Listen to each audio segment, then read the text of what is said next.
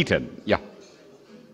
In this session, it is uh, tactical medicine, history, basics, and updates.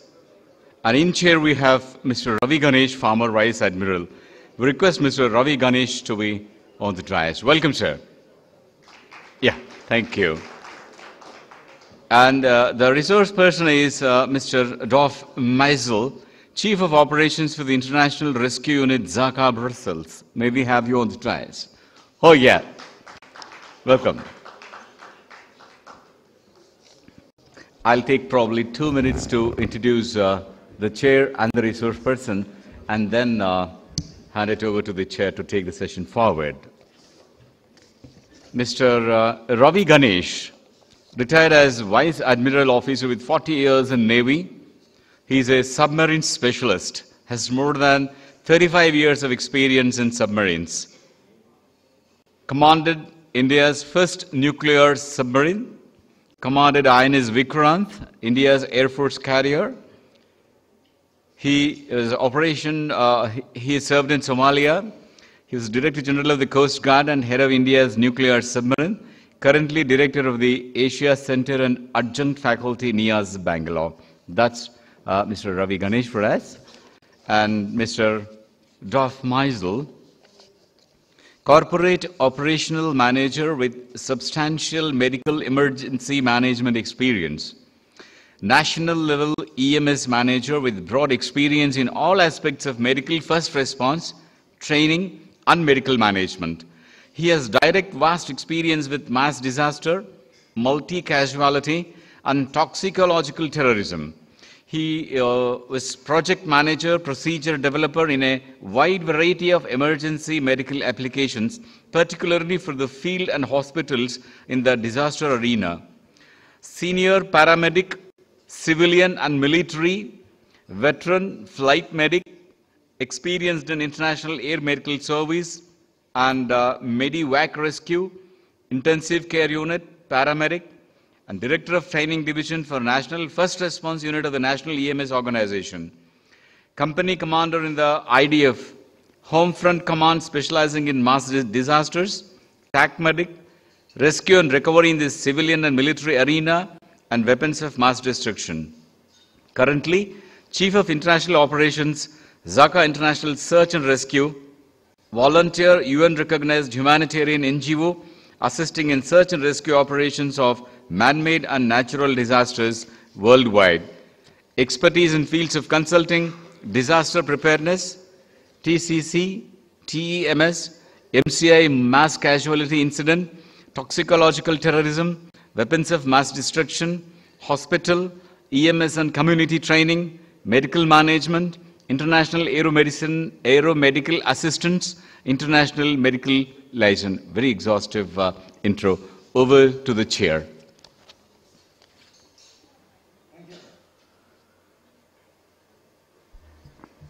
Thank you.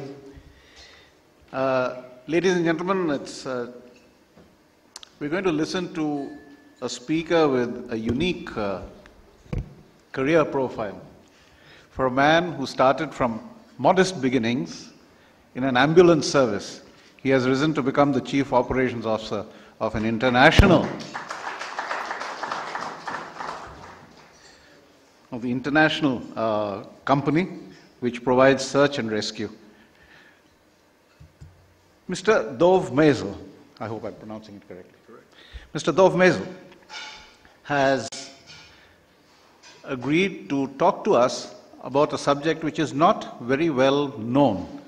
I would go so far as to say it is not a subject that is very well, as a concept, is not very well thought about in India. Uh, and what is that subject? It is tactical medicine. A tactical sort of smell, sort of reminds one of the military or a military operation or armed forces operation. And medicine is something else. It is medical relief, it is humanitarian. And what then is tactical medicine?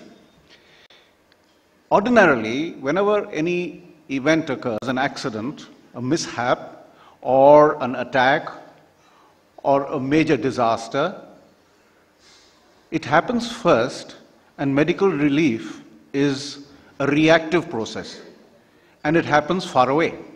That means people go in either to quell the disaster or to remedy the effects of the disaster, and those who are injured and require medical relief are taken away from the scene back somewhere else where medical relief is available.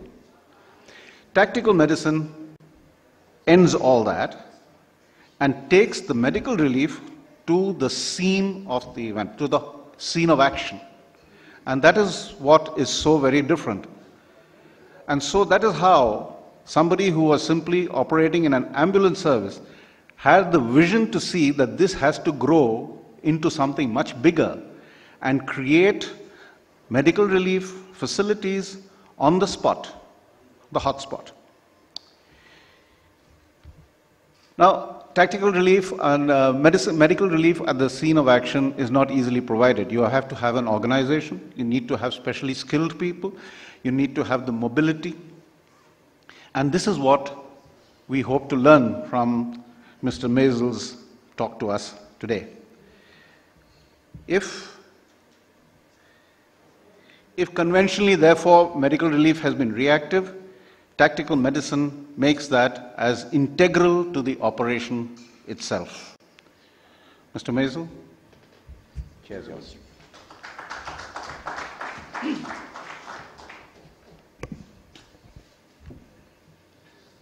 Good morning, or almost good afternoon.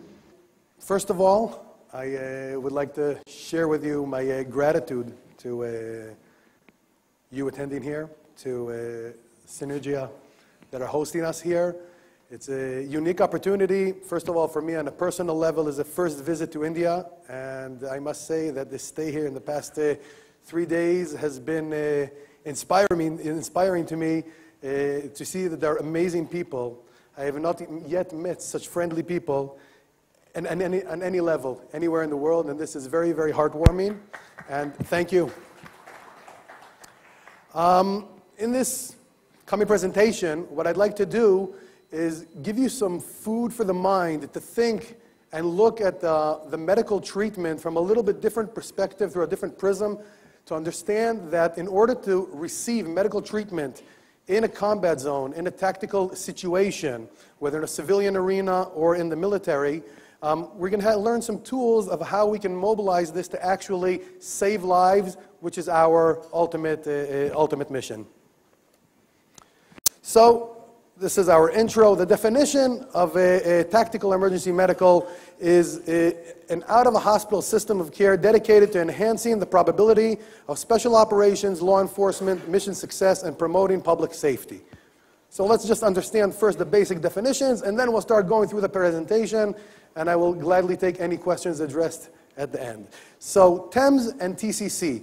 TEMS is Tactical Emergency Medical Support, and TCC, Tactical Combat Casualty Care. The difference between them, differentiating between them, is the civilian arena, meaning um, security forces, uh, law enforcement, police, special tactic units, and TCCC is more related to the combat field, the military arena, but the, the fundamental um, points of this uh, uh, presentation, of the points of care, resemble each other very much. And this is what we want to talk about today. So, the three objectives of TEMS, of Tactical Emergency uh, uh, Medical Treatment, is first of all, treat the casualty. What are we all here for? What are medics here for? Paramedics, doctors. We want to save lives. That's our premier uh, uh, target. Obviously, if we're part of a special tactic police force unit, elite unit, raiding a, a, hostage situation, for instance, then we want, first of all, to resolve the situation, protect ourselves, protect our team members, and, of course, treat the uh, victims, whether the victims are civilians or whether the victims are from our own forces, and to complete the mission. What we want to do here basically is integrate the medical treatment into the operation itself. So, the goals the direct goals are to enhance mission accomplishment. That is the prior goal. We want to uh, uh, take out, the perpetrator take out the, uh, the person who's uh, causing the damage, causing the injuries, and uh, uh, complete the mission. Reduce, reduce death, injury, and illness and related effects among officers, innocent, and perpetrators. Meaning we're looking as, when we treat the patient, It's irrelevant at the moment of treatment who we are treating, whether it's the perpetrator or the officer uh, uh, attacking the perpetrator or civilians, uh, innocent bystanders. Improve the agency's po- posture in liability prone circumstances, meaning the circumstances of an incident have uh, the ability to go beyond that specific incident. It could be political uh, effects, it could be uh, psychological effects to the community. We want to minimize this incident to the minimum and move forward.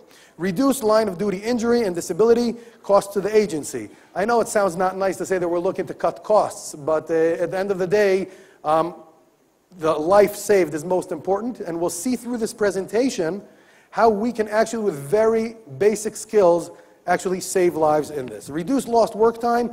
Any person, uh, an officer, a special units, obviously in special units, it's not as many soldiers or policemen as you have on the street. These are specially trained, unique units, and every person is important there. So we want to minimize the time lost that they're out of mission. We need them back on the force as fast as possible. And maintain good team morale. Maintain good team morale when true concern for the members' health is realized. What does that mean? That means that if, God forbid, one of our team members is hit during action, it can essentially affect the morale of the team. We want to know that the team members, when going in, know that if something happens to them, they're in good hands, get the right treatment, and the odds are that they will survive this uh, uh, incident. Let's look at a little bit of numbers. Uh, just collected, uh, there are many studies done on uh, combat medicine and uh, um, operational medicine, and we can see that there are all kinds of different reasons, causes of death during action. I'd like to relate to three of them.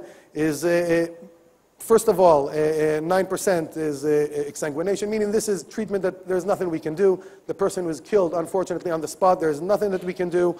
The second one is airway obstruction, and the third one is a, a pneumothorax, damage to the lungs and breathing system.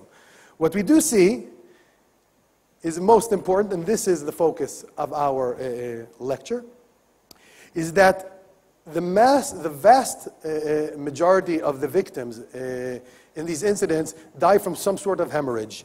We found in research that many of these incidents, many of these uh, patients, and we'll see the numbers further down in the presentation, um, can actually be saved. So, the most important thing is why did we, it's not me, I thank you for giving me the credit for it, sir, but um, it's not me who invented tactical medicine. Tactical medicine has no one protocol today, one standard of care worldwide. Rather, tactical medicine is an accumulation of experience from tactical units, from medical personnel around the world, whether it's in the US, in, in, in NATO uh, armies, in Israel, in India, anywhere in the world, basically, a lot of experience is gained in the combat field, and we're sort of in the midst of improving the system, improving the system in order to minimize the deaths. And the think tank idea, which Synergia brought here and brought us here uh, to speak, is exactly that to share this knowledge so that when we meet again in a year or in two years, we know to, to learn from each other and see what lessons you can actually teach us from your experience in the field. And therefore, this protocol is ongoingly uh, improving itself. So, what are the preventable combat deaths? First of all, hemorrhage from extremities. What, are, what is hemorrhage from extremities? Arms, legs. Hemorrhage from extremities, 60% of, of, uh, of these uh, incidents ended up in death, and these are actually preventable. Meaning, if we stop the bleeding at that point, we stop the deterioration of the victim. Tension pneumothorax is damage to the lungs, to the airway, uh, to the lower airway system. And airway compromise is upper airway obstruction. These in total are 16% of total combat deaths. These 16%, here it says 16, we'll see further down that it can go up to 25% in total combat deaths. These deaths can actually be preventable with a few simple acts. So, what's the approach? How do we look at tactical medicine? First of all, we need to identify quickly in action as it happens. We need to identify the, identify the cause of the, uh, of the uh, injury and uh, try and prevent uh, the deterioration. We need to address it aggressively. as opposed to treatment in a hospital or a clinic, which may take more time until you check, until you do examinations, send for an x ray, go to the operating theater. Here, you need to work fast and, and practice very good medicine. You need to know how to work fast, effectively, and aggressively. We call it to attack the victim with good treatment. So, what's the most important here? Important thing here. First of all, we need to plan. We need to plan. We need to plan different scenarios. Any incident, if we're going, if there's a tactical unit now preparing for some sort of incident. Obviously, they sit down with the maps of the site where they're going. They have a whole tactical uh, uh, program there, how they're going to invade this, uh, this uh, hostage situation, how they're going to control it, etc. Very important when we're talking about tactic medicine is in this scenario planning, we need to actually make a plan of what happens along the way, where the uh, uh, risk areas, the higher risk areas here of getting struck, and prepare ourselves and the medical staff in the team how to respond. Um, the location of the uh, tactical and medical personnel, um, I'll say again, tactical medical personnel is not an outside person integrated in the team. It's one of the team members which is actually trained on the medical aspects. So it, uh, we need to think, according to the plan, where we want to position our uh, medical responder. Um, we need to predict what are the medical problems that we can uh, imagine that will happen in this incident. We got to think of where this incident is. Is it out in the open, in the closed vicinity? Are there hazardous materials involved, etc.? Different risks that we need to take into consideration when making the plan. Obviously, this improves the public opinion because once we reduce the casualties the fatalities in these incidents. Obviously, the public look at the forces as much more effective. They look highly at the special units anyway, but they'll even look higher at them if they manage to reduce the fatalities in these incidents. And obviously, reduce the liability. When I say reduce of liability, that is in, in different uh, political situations or, or sensitive situations. Uh, like I said, tactical medicine is not uh, designated only for terror or it could be domestic a person who's upset that the authorities took his kids to welfare or whatever, and he decides to take hostages and, uh, and, and, threaten, and tactic unit wants to invade the house and uh, uh, get this perpetrator. So we need to make plans of how we're going to evacuate if we have a victim in the incident, not think of it only in, in, when it happens. We need to think ahead of time, what are the difference uh, what are the different situations that we may need to uh, work with. Evidence preservation, if you have an ambulance come to a crime scene, obviously the ambulance has no idea what to do in a crime scene as far as what's interest afterwards, the forensics and the investigation of the incident. So these tactical units are trained anyway in evidence preservation. Very important. This way the medical response gives the treatment on the scene and uh, preserves as best as possible, obviously, the uh, evidence.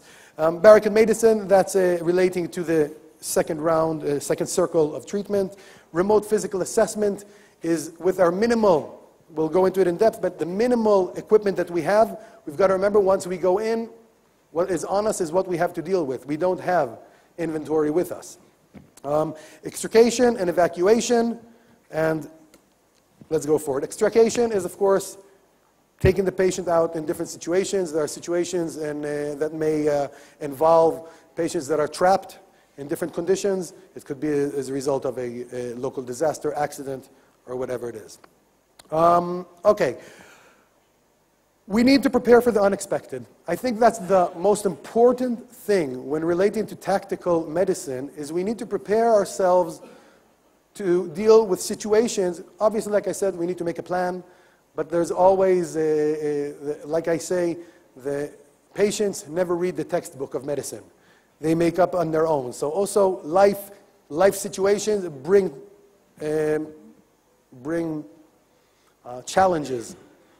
If you make challenges to us that we need to deal with as we go on, meaning the tactical medic needs to be able to think out of the box, not just to read the protocol and, uh, and, and, do, and do that. So maintain emotional composure, very important for the provider, the tactical medic, doctor, paramedic, whatever it is, responding in the incident to not get involved emotionally and deteriorate the emotional situation of the victim. He needs to be able to be focused on the mission and accomplish.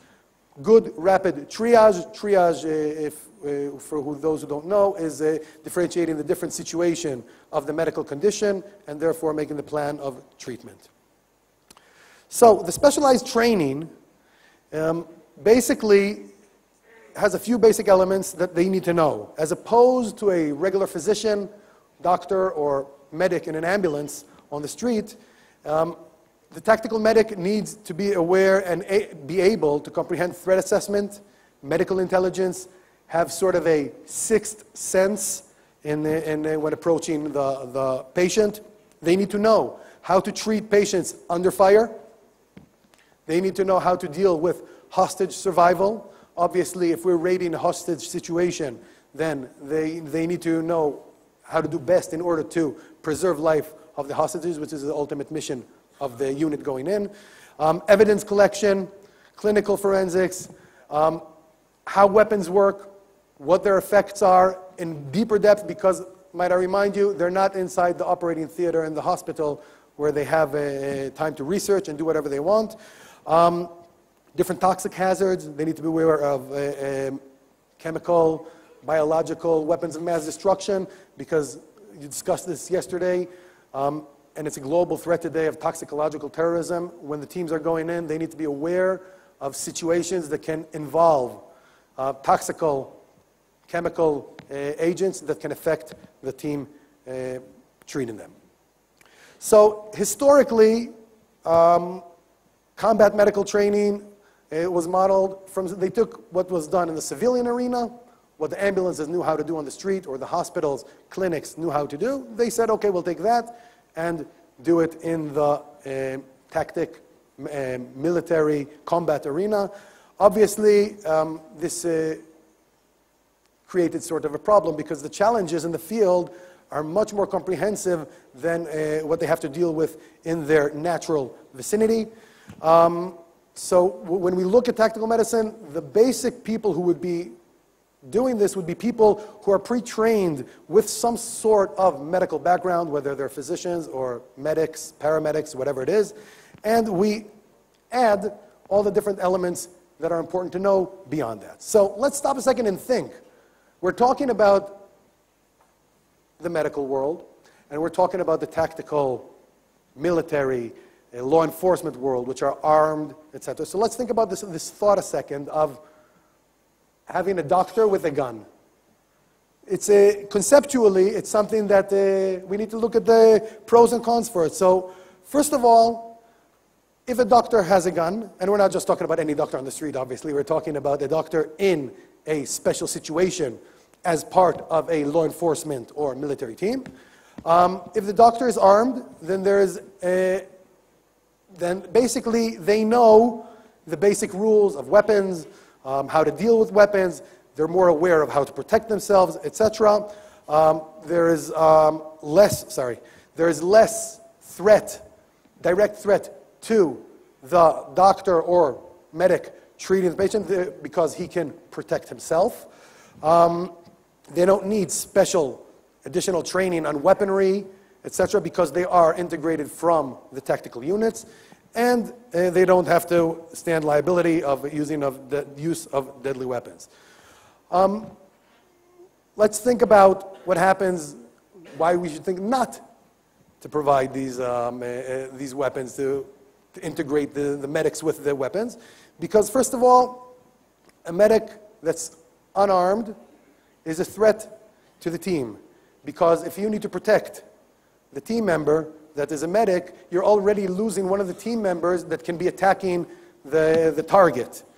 Um, it's more difficult for the medical treatment to be provided safely within the perimeter if you're not armed. And obviously, if the medic or doctor are armed, they're able to protect themselves and the victim that they're treating, whether it's a colleague from their tactic unit or whether it is a hostage. Another reason for providing these weapons to these uh, um, tactical unit um, providers, it, like I said, protects the patient, protects the, the medic himself. Um, very important is limited manpower. When dealing with an incident, I, will keep going over these things because these are the important points uh, that, we go, that we go home with today after this lecture, is protecting ourselves, protecting the patient, taking the liability off of other team members, enabling them to complete their mission. Therefore, we're actually assisting in completing the mission while we're not dealing with the medical treatment. We are, as part of the tactic team, attacking the mission. And at the end of the day, we want to get out of there safe. The team members, the uh, hostages, and obviously we want to get the perpetrators.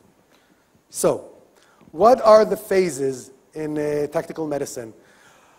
Um, tactical medicine or combat uh, uh scenarios uh, entitle um, different complex situation. We wanted to have the best outcome uh, at the end of this mission, meaning obviously zero fatalities as best as possible. If there are no casualties, that's even better, and the team can fulfill their mission. Um, but the basic is good medicine can be bad tactics, and bad tactics will cause the mission to fail. Therefore, it is important to combine the right thing at the right time and in the right place. So we divide the tactical medicine into three phases. The first phase, obviously, is during the gunfight. While we're under fire, we need to know how to react, how to treat the patient, protect ourselves, protect the patient, and get him out of there. As the threat decreases, we can go on and treat the patient more extensively and more in depth, and we'll see the three stages. So first of all, while the care is under fire. That's stage one. Stage two is the tactical field care. Tactical field care, uh, we'll go into depth in a second what exactly that uh, entails, and the tactical, tactical evacuation care. So, care under fire is as, as simple as it sounds. While the gunfight is going on between the terrorist perpetrators and the law enforcement, there is a casualty. He needs to be attended to immediately. We'll soon go through the process of uh, how we approach these patients, what are the things that we do, what are the uh, basic um, procedures that we need to do. And uh, we're limited at this point. We got to remember that what we went into the mission with, the kit on our back, the kit on our leg, that's all we have. And we can't look back to see where is the storage room or where is the higher ranking doctor or anyone back there. It's us, and it's us alone. So we need to think about that stage. Um, the tactical field care is once the gun, gunfighting stopped, there's no fighting at the moment, but the situation is just being maintained, meaning at any given moment, the situation can deteriorate again, and the gunfight can start, and the life threatening situation is once again on the highest alert. So, once the gunfighting is stopped, we did the first preliminary actions while gunfight. Now the gunfighting is under control. We can go on, do the next stage of treatment, and take into consideration we need to get out of there as fast as possible because in any moment, at any given time, the hostile situation can regain itself.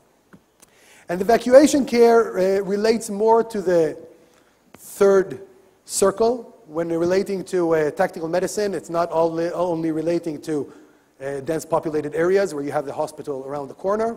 Many of these incidents, uh, primarily in the uh, battlefield, can be in remote areas. So we need to take into consideration evacuation uh, mode, whether it will be with a helicopter, a boat, um, on foot, on motorcycle, whatever we have, whatever resources we have, whatever we have to work with, we need to take that into consideration as the third level when we make the pre-planning of the incident. We need to take that into consideration and think how we're going to end up getting this patient to definitive care in a hospital, primarily the operating theater, where, there is, where they can actually save his life. So, pre-hospital trauma care in tactical setting is very different from working in the civilian arena. First of all, primarily because of the threat to the uh, provider and the patient. Tactical environmental factors have a profound impact on trauma care rendered in the battlefield.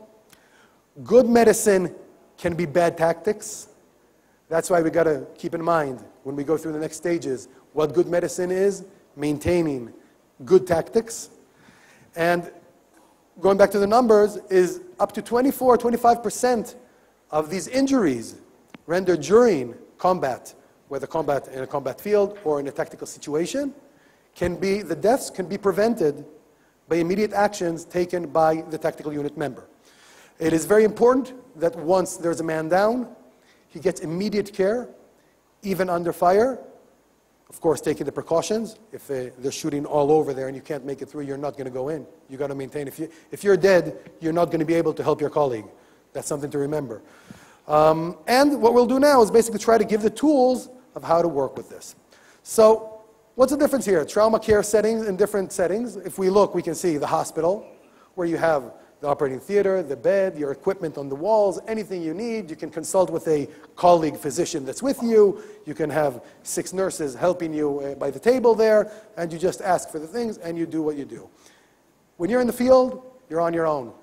There are many different circumstances working in the field, and that's what we're going to be talking about. So, the differences in care. First of all, remote assessment. You got to do a quick, brief, fast assessment of the patient. Tactical exam is you got to be doing this while you're taking into consideration the security threats around you. Um, you don't want to overload an assessment. You do it very basic.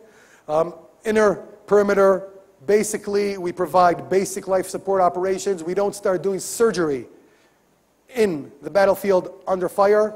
We're talking about, remember, the three stages. We'll do the advanced life support procedures in the second stage or in the third stage. Um, there's no CPR conducted in a, in a, hostile, in, in a hostile situation. CPR, cardiopulmonary resuscitation, what you all know as uh, basically uh, heart compressions. And uh, airway is only done partially in the area to maintain airway and bring them out to stage two and stage three. We need to determine, oh, sorry. We need to determine First of all, if the area is secured, like I said, if we're going into a hot zone, we need to make sure we won't be killed. Once we're dead, we're ineffective and we're a burden to the team. Um, we need to determine if the patient is a perpetrator threat. Why? Why do we need to determine if the victim is the perpetrator or if he's one of us? Very simple. If he's a perpetrator, he might be holding a gun and he sees us as one of the tactic team members. The first thing he'll do is pull out that gun and kill us. So we need to remotely, quickly make an evaluation. Is he a threat or not? Um, we need to determine the level of the injury in order for us to know how to react. Um, we need to assess risk benefit of exposing providers in an unsecured area. I'll remind you, we need as fast as possible to do the basic procedures and pull out to stage two and stage three. And we need to do basic stabilizing procedures in order to get our patients out alive. So the tactical approach basically gives us a few tools we need to take into consideration. Like we said, we're not in the operating theater. Um, many cases, we might be in a dark room. All tactical units, or most of the tactical units around the world, and any law enforcement, first thing they do before they attack is cut the power, make the room dark so that the terrorist, the perpetrator, will be blinded so they can go in with their equipment, with their special uh, night goggles or whatever it is, um, night vision, or, a, or throw in a, a, a, grenade to stun, a stunning grenade to stun the perpetrator, enabling them to take over the situation. Um, when you approach the patient, you need to approach him and identify yourself as a rescuer. Because if it's a colleague of yours that made the first entry, breaking in, and was shot, and he's on the floor, and you come up to him, you don't want him accidentally shooting you. So you identify yourself. Obviously, every country has their own uh, code words, Every unit has their code words, but you have to identify yourself in order to maintain safety for yourself. You got to position yourself near the head of the patient in order to make an assessment of the airway, breathing. You can hear if it's dark, you can hear if he's breathing, you can look at his chest and, uh, and get a, rough assessment of what the situation is. Um, it gives you an assessment of the level of consciousness. Um, and of course, rapid tactical whole body survey, just check down the person quickly to try and identify where he's been hit in order to provide the good treatment. So, what are the concerns? Obviously, the most basic fundamental concern is being shot. So, we want to make sure that we're safe. Darkness can be a concern, environmental factors. Where is this incident taking place? Is it in a house? Is it on the street? Is it in a um, chemical plant? Is it in any different situations? We know that the chemical plants and different uh, strategic targets for terrorists can be uh, uh, very dangerous to us as providers while treating the patient. During gunfire, gunfight, there can be ob- obstruction of some sort of chemical device there. It doesn't have to be a terrorist medical device. It could be just some sort of tank with chemical, it could be in a factory, whatever, with some chemical materials there that can uh, uh, affect uh, you and the patients. We know to consider that it will take time to get the definitive care. This is not the patient on the street which we throw in the ambulance and rush to the hospital. We need to know that it will take more time. Um, and we need to act in a command, uh, in a chain of command and command decisions like in a law enforcement or military fashion. So, basics, you are one of the team members, you are a tactical fighter, primarily, you are a medic as well, but if you're being shot at, first of all, you shoot back in order to protect yourself, and if there's any other victim there. Um, if the victim is one of your team members and he is capable of return and fire, I don't need to tell him to do that. He'll probably do it on his own. But it's just things to take into consideration that you are the medic, but you're still one of the team members in the mission. Keep yourself from getting shot, keep the casualty from getting shot, and stop life threatening hemorrhage. We'll keep coming back to the hemorrhage. Um, tourniquets, we'll talk a few words about that as well. Um, and as fast as possible, evacuate to a secure area. So, like I said, controlling the hemorrhage is the top priority. Um, statistics taken from American Army um, in Vietnam primarily was the turning point of, a, of starting to use tourniquets more excessively. There were more than 2,500 casualties, fatalities, as a result of bleeding from extremities. These are bleeding that have, could have been prevented and stopped and prevented the deterioration of the patient um, and possibly even saved their life. So, tourniquets. When we talk about cardiopulmonary resuscitation, CPR, there's a study made once, this has nothing to do with tactical medicine, this is sheer medicine. There was a, a, a study done that out of 138 patients, trauma patients, not cardiac patients, people that were involved, whether in blunt trauma, gunshots, car accidents, whatever it is, um, that their heart stopped, full cardiac arrest, there was no outcome. Zero outcome of the CPR as we know today. So, obviously, we do CPR in cardiac situations. Anything that has to do with a cardiac situation, non trauma, put it this way, any non trauma situation, we will treat full cardiopulmonary resuscitation, chest compressions, and everything. In trauma, the statistics are very much against us. So, while you're doing CPR, if you try and do CPR in the hot zone, you may get shot. While you're getting shot, the mission either gets delayed or compromises the mission totally, and the patient you're trying to treat it will still stay dead. So if there's a situation when the person is already in full cardiac arrest, maintain your security, complete the mission. There's probably nothing that you will be able to do for this patient. General Albert Sidney Johnston, um, famous from the Shiloh War, a battle in uh, 1862. He was Confederate uh, uh, general. Um, he was killed in action. What was his story there? Just before the battle that he was uh, involved in, the general surgeon, David Yandell, had directed that every soldier carry a tourniquet with him. Every soldier should carry a tourniquet in his, in, in his vest pocket in order to stop bleeding from extremities in the battlefield. Um, General Albert Sidney was shot in the popliteal artery, which is down by the leg, very big artery that can bleed massively, and he bled to death. When they were checking out his body, they found a tourniquet in his pocket. This may have been a preventable death. This, this is very important the use of tourniquets um, have been extensively in the arena of tactical medicine, of combat medicine. Um, they're emphasizing the use of tourniquets extensively because this is a very simple treatment. It's literally, if I'll put it in simple words, we'll see an example of a tourniquet, but in very simple words. Put a rope around the leg, tie it up very tight until the bleeding stops. Once the bleeding stops, the deterioration process of the victim will be maintained. So the American Army, um, as well as all the other armies in the world almost, um, implement the use of tourniquets. And statistics from uh, the American Army provided uh, from 2008 2009 showed that over 2,000 lives of soldiers in Afghanistan and Iraq were saved by the use of tourniquets. This is why it's so important to use these tourniquets. So, in the civilian arena, however, tourniquets, they tell you, wait, don't put on a tourniquet so fast. We're not so far from the hospital. We can put on a bandage, direct pressure on the wound, and take him to the hospital. There is risk for the limb um, uh, if you put on a tourniquet.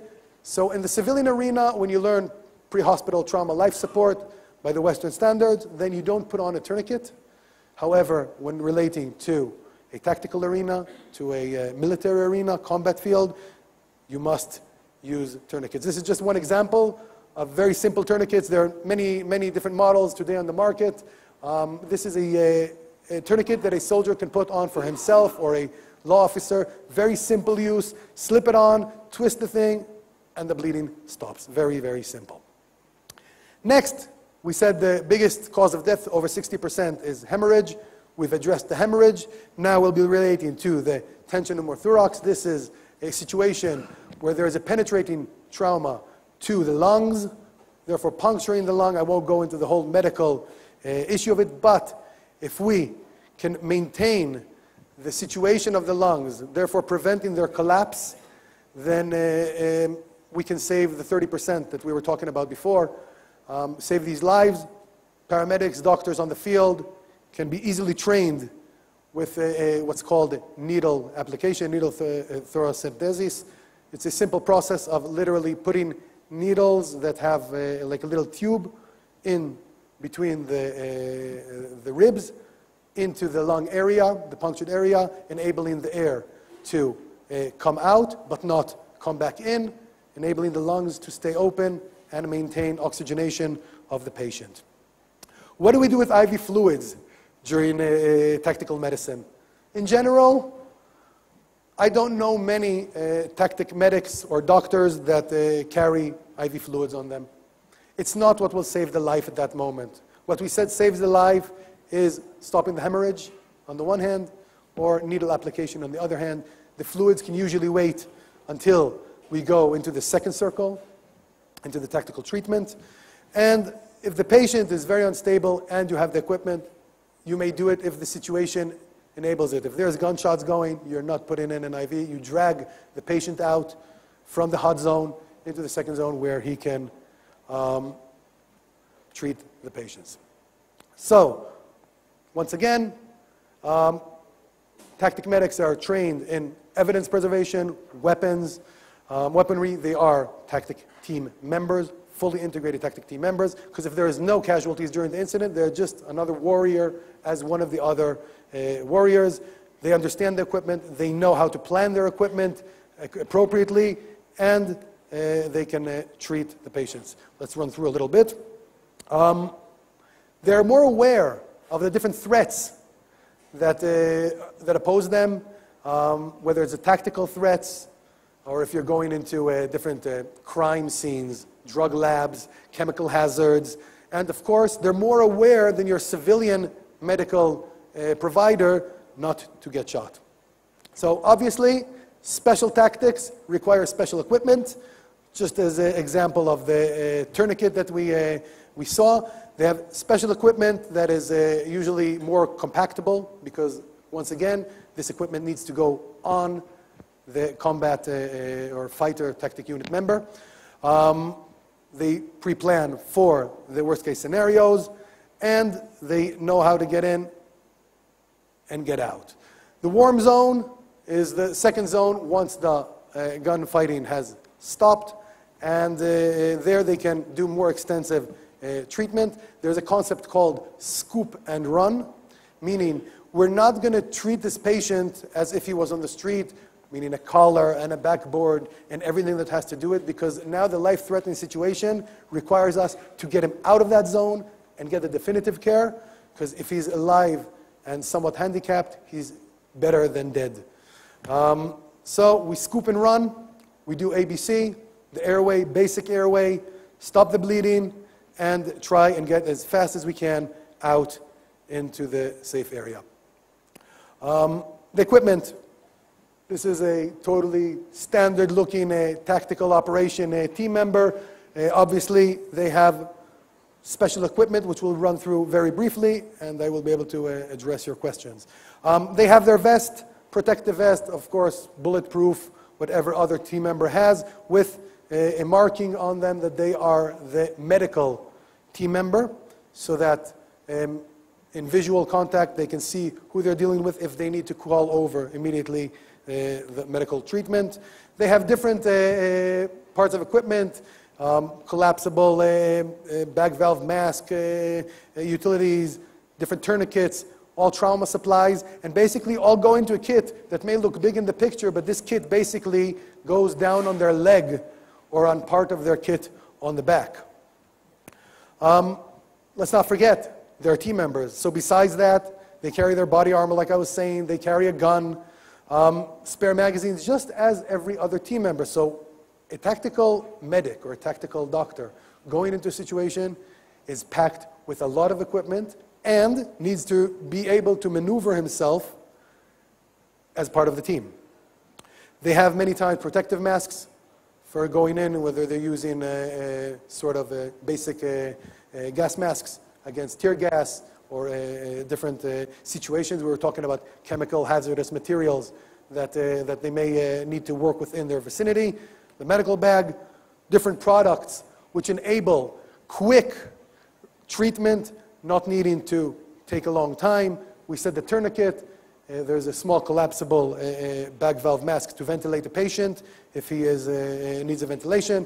There's a IVs, I said we don't do, but there's today what's called IM, intramuscular. This is sort of a, you have a small picture there of a, like a small gun in your hand that you just put into the bone and uh, administer drugs that you may need to administer to the patient, life-saving drugs, directly into the bone, which has been proven clinically to be just as effective as IV. Um, I think that's about it. So let's just remember very important is uh, bleeding wounds, breathing, broken bones we don't relate to when we're on the field. Obviously, burns, there's not much we can do while we're being shot at, and uh, we need to get out of there as fast as possible. This is really sort of the tip of the iceberg.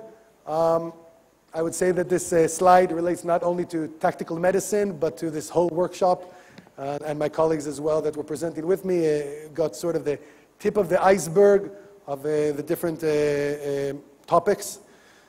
All these topics can be addressed in depth, obviously, in future workshops and, and sharing knowledge in, in the future as well.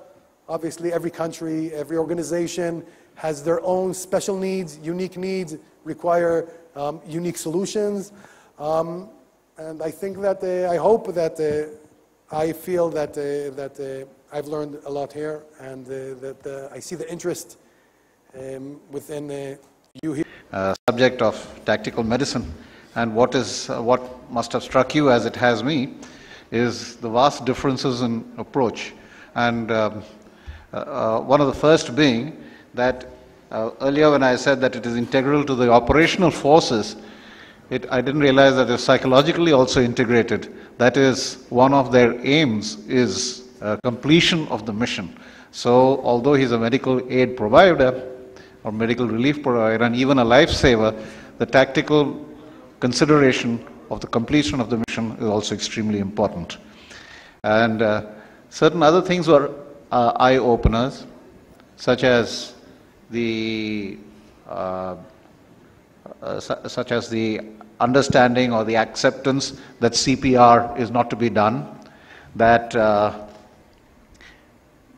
24% of casualties on the battlefield are preventive. Now, just imagine that 24% is a huge number, are preventable. And simple things like tourniquets and how many lives they save. And uh, these have given us flashes of insight into this whole vast new difference between the practice of tactical, tactical medicine and medicine as practiced in, in uh, the civilian uh, context. So this is something that those of us who are in command of forces, military forces or law enforcement forces, uh, should should really be looking at. In the military, of course, it has been uh, that the medical team has always been tactically part of incorporated with the with the formations, but even then, it was definitely definitely a rear echelon kind of involvement, and, and not a frontline involvement. And here we have been here we've been listening to frontline, that is the hot zone involvement. So, uh, thank you very much, Mr. Maisel, for a very illuminating talk. And I now uh, throw the house open for questions and answers. Please identify yourselves, wait for the mic, and uh, then I will request Mr. Maisel to take, address.